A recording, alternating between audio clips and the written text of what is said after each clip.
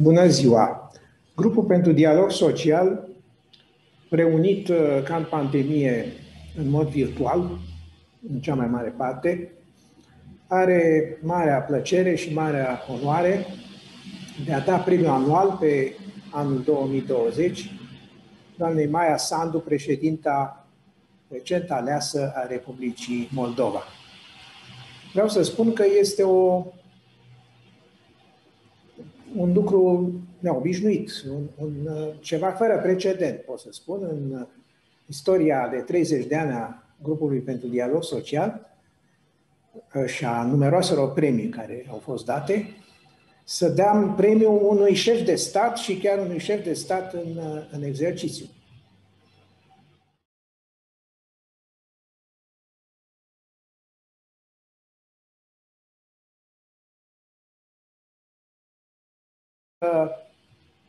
Pur și simplu aici nu există mai mare.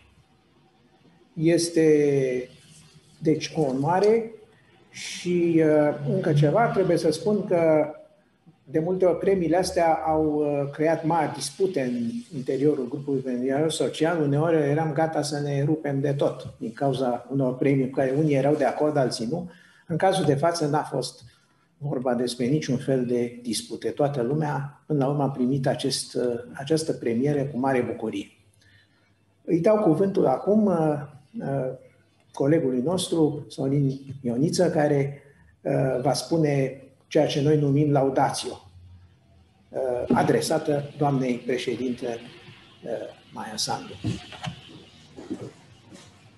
Uh, mulțumesc, așa este tradiția grupului, să, să motivăm cumva alegerea premiantului în fiecare an. Și vreau să spun că sunt trei lucruri care au uh, impresionat pe colegii de la GDS și au hotărât să dea acest premiu.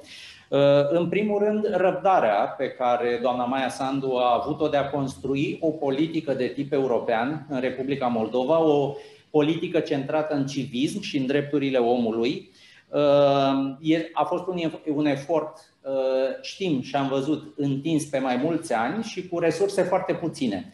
Nu se întâmplă des în politica este europeană genul ăsta de construcție, pentru că este o construcție de tip uh, modern.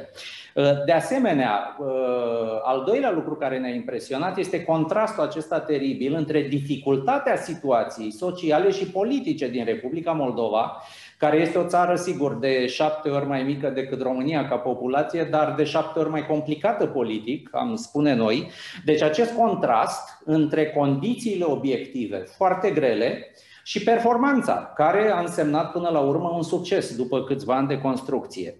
Și în al treilea rând, um, uh, nu e în al treilea rând, dar nu ultimul, uh, faptul că a reușit să facă această construcție de tip european și să o ducă la succes, Ehm, ca femeie, demonstrând calități de leadership remarcabile, ehm, leadership validat ehm, prin cea mai bună probă, care este rezultatul la urne. Nu avem în Europa de Est și includ aici și țările nou membre ale Uniunii Europene atât de multe exemple de femei lideri de succes în politică și asta face exemplele respective atunci când apar cu atât mai vizibile.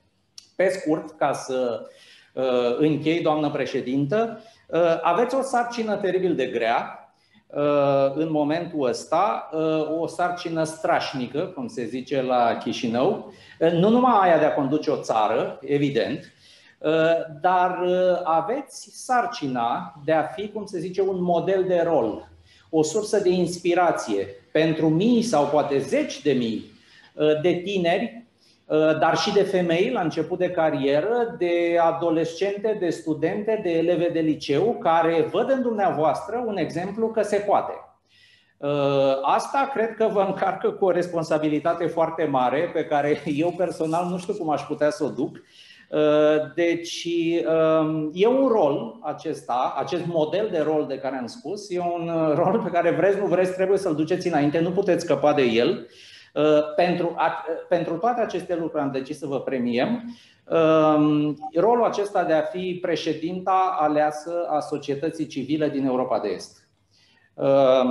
Sperăm să acceptați premiul din partea noastră. Pentru noi e o onoare să vi-l dăm anul ăsta și vă invităm să ne spuneți gândurile dumneavoastră cu această ocazie. Bună ziua! Vă mulțumesc foarte mult pentru această înaltă apreciere și sunt onorată să fac parte din rândul marilor oameni care de-a lungul anilor au fost premiați de către grupul pentru dialog social. Acest premiu este al cetățenilor Republicii Moldova pentru că ei sunt cei care au luptat și continuă să lupte pentru valorile democratice. Cetățenii Republicii Moldova sunt cei care au rezistat în timpuri foarte grele, au luptat împotriva unor uh, regimuri autoritare, au ieșit în stradă pentru ca să nu permită corupților să prindă rădăcini la putere. Uh, acești oameni, în pofita tuturor presiunilor, au uh, muncit și au luptat pentru democrație.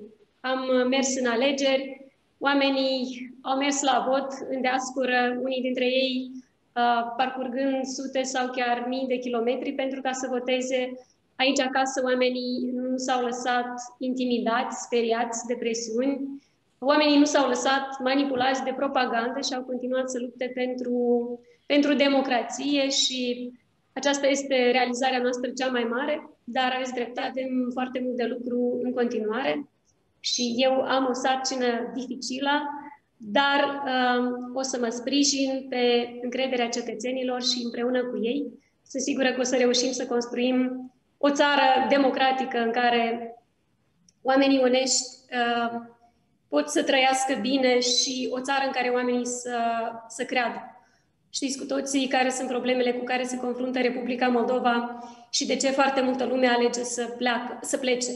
Scuzați-mă. Uh, încă o dată vă mulțumesc foarte mult pentru această apreciere și uh, sunt sigură că împreună cu toți oamenii care ne sprijină o să reușim în continuare și o să construim în Republica Moldova o societate de care să fim mândri cu toții. Vă mulțumesc frumos! Vă mulțumim și noi. Uh, acum îl avem uh, pentru o scurtă intervenție de final pe domnul Arman Goșu. El e cunoscut și la București și la Chișinău. E un bun analist al spațiului estic. Uh, sper că poate intra în momentul ăsta și cu sunet.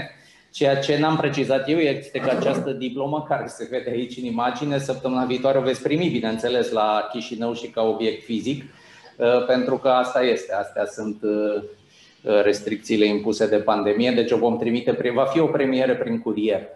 Uh, încheiem aici transmisia noastră, mulțumindu-vă încă o dată că ați fost alături de noi și că acceptați premiul pentru anul ăsta din partea GDS. Uh, și încheierea... ca să spunem așa, la mai mare, dacă putem să, să facem un mic joc de cuvinte. La mai mare nu știm ce înseamnă, dar vă urăm uh, spor la treabă și uh, succes pentru că vine un an dificil pentru toată lumea din toate punctele de vedere, nu numai uh, medical, dar și politic. Mulțumesc foarte frumos și eu vă urez sănătate și numai bine tuturor. Vă mulțumesc. Toate bune.